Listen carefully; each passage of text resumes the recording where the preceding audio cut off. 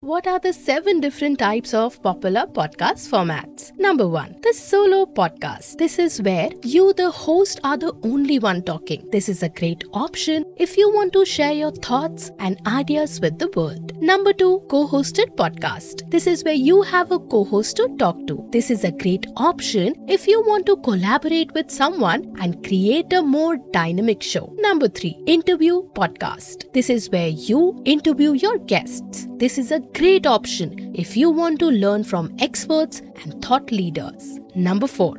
Fiction Podcast. This is where you tell stories. This is a great option if you want to entertain your listeners. Number 5. Non-fiction Podcast. Number 6. Panel Discussion Podcast. This is where you have a group of people discuss a particular topic. Number 7. There's the Repurpose Content Podcast. This is where you recycle old content and give it a new life.